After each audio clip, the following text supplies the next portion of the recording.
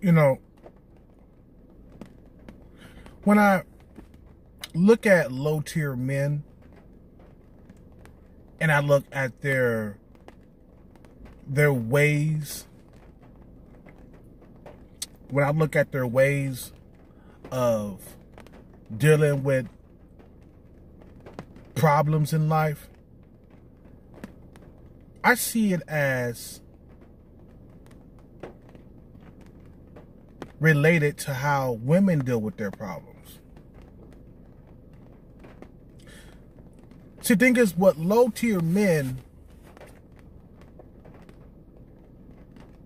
do when there's a problem, they sit, complain, bitch, and moan. At the same time, they want you to have sympathy for them.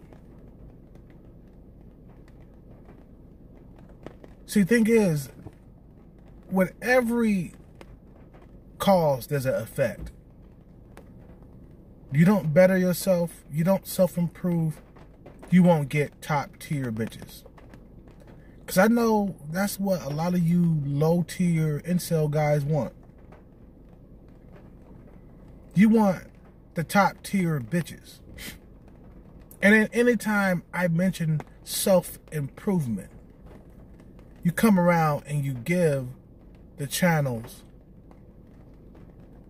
every, every time I, you know, mention even even say self improvement, you want to thumb the video down. And that's the reason why you're not getting any kind of pussy. You're not getting low tier pussy. You're definitely not getting mid tier pussy. And you're not getting high tier pussy. You see? Every, for every cause, there's, there's an effect. You didn't go to the gym, work out, you're not disciplined. You don't want to sacrifice. You don't want to put the time and effort that it, it, it, takes to become successful with women. You will always stay at the bottom. There's no way around this. Self improvement, there's no way around it.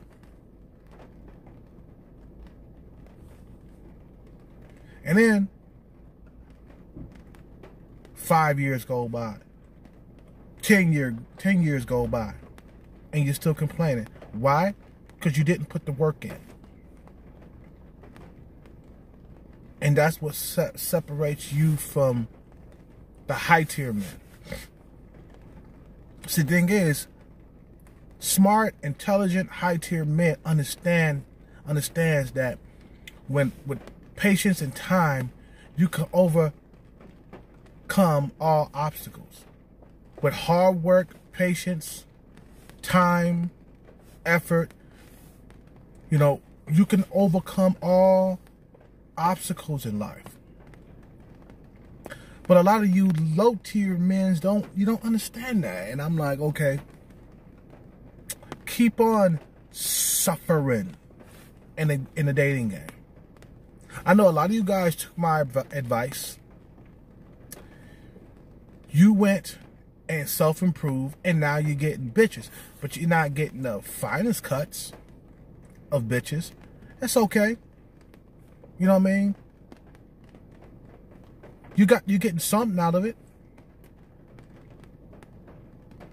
But a lot of you guys continue to complain. I mean, how many years have you been on YouTube complaining? Those are the years that you could have been in the gym working out or going after money, getting money in your pocket, becoming successful, and finally coming out on top and getting the high tier women. You are wasting these years. Years are going by and you ain't getting no younger.